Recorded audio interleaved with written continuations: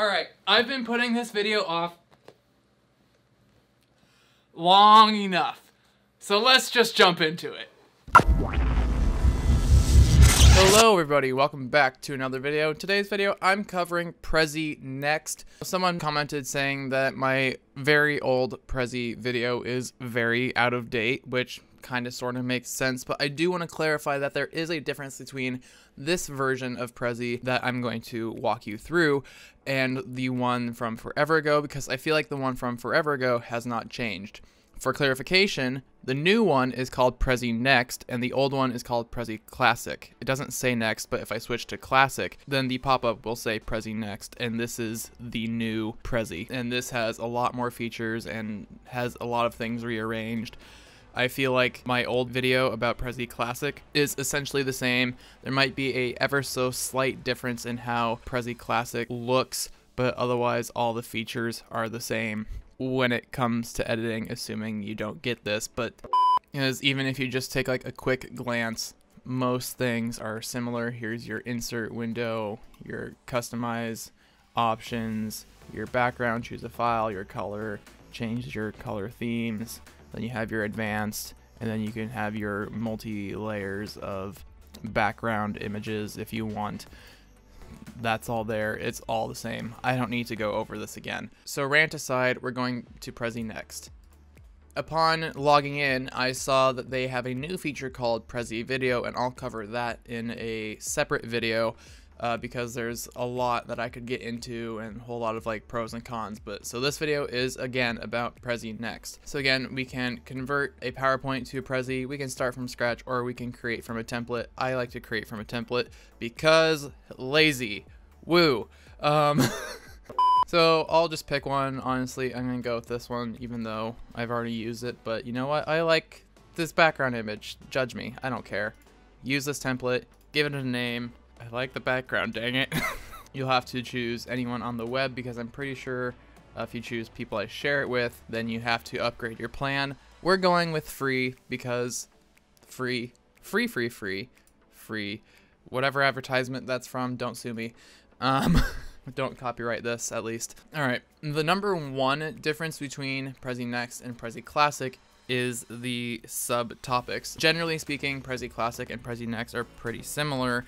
However, the subtopics can be disguised as something else. So like we couldn't see these when we entered into this frame from the big picture. And so that's something we are able to do whereas in Prezi Classic you could not. Then we can click into these and again see hidden things which overall makes our presentation look a little cleaner nicer professional. And then we can even go further this is what it means to go even further.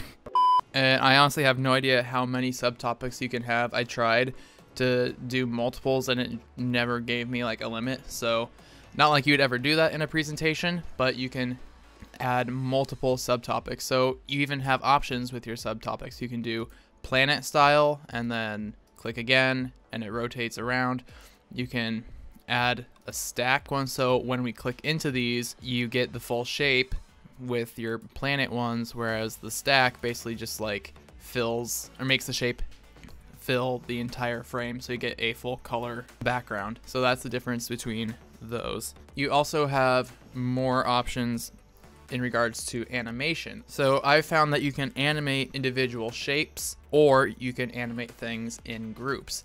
So you can add an animation by right clicking and then selecting add animation or you can click insert where you'll find basically all the things you'll need.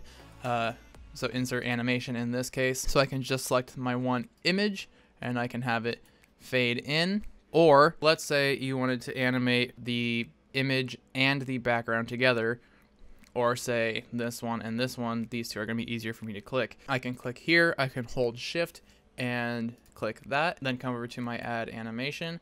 I can have that fade in and they animate in together and that is something that you could not do in Prezi Classic because in Prezi Classic you can only animate things one at a time. Then there's the added animation of zooming to or adding a zoom area. So zoom to just brings you in closer to the thing. And if you add a zoom area, then then it creates a box and then you can tell it, hey, I want to zoom in to this corner instead of an object.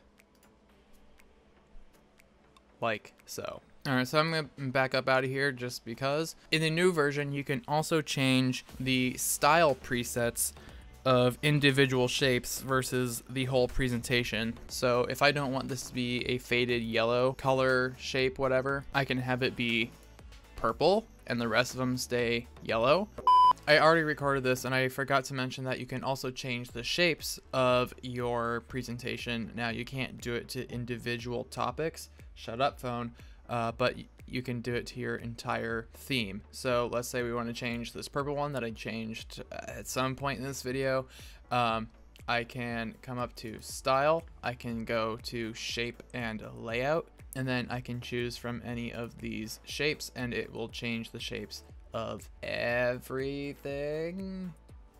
Let's go with this one. It looks like it'll load faster. And I can also change the layout of my, well, hold up, let's zoom into a topic. I can change the layout of my shapes and other stuff. So sky is the limit with Prezi next. And if you want to prep this for a video, you can choose a video template as well. So I'm going to go back to my normal orbiting and shapes. So on with the rest of this video.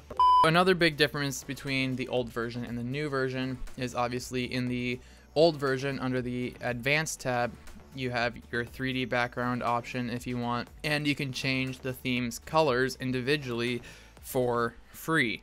However, in the new version, you don't have the 3D background, so you only get a single image background. You, um, then if you want to adjust uh, your theme colors, so you come up to style, colors, you click your three dots. I'm scrolling to the bottom because this is the theme set. I click the little edit pencil and paywall. So if you want to adjust individual colors of the theme, then you will have to pay. Otherwise, you are limited to changing single colors within your theme. And lastly, the other thing that I found different from what I could find is your insert options. Uh, you have a story blocks option, so you have different elements. Uh, at first, I thought this was like connected to Storyblocks, the service, which would be a great segue for a sponsored segment if this video were actually sponsored, which it is not. Um, and basically, this is just a fancier version of inserting symbols and shapes in the old version. You can also insert icons and your the icons available are different than what's in the old version and your icons were also under like symbols and shapes basically. So you just pick a style, well that's shapes, and then mm, that's your icons in the old version whereas like you have a lot more and you don't necessarily get to choose from a style, I guess. You have different, well, I guess you do have styles, but long and the short of it is there's slightly more variety than the symbols available in the old version. I also discovered that in the old version, they have an option to highlight things and essentially uh, doodle on your presentation if you want. I do not know what this is. This is shapes. I, I don't know what this is. Don't don't look don't look into it. Um, however, there is a highlight feature, uh, but it does not allow you to doodle like in the old version. So to use the highlight feature in the new one, you click the text that you want to highlight, and then you can choose your highlight color, and you can change the opacity from there. But there is no highlight or doodle feature for shapes and whatnot. Highlighting in this version is limited to only text. So otherwise, all the basic functions of Prezi Classic still remain true in Prezi Next. These are just the main differences that I found between the two and of course Prezi Video, which I will cover in a separate video. So thank you guys so much for watching. If you enjoyed this video, you can give it a big thumbs up and you can click all the things in the end card and I will see you guys in the next video. Bye.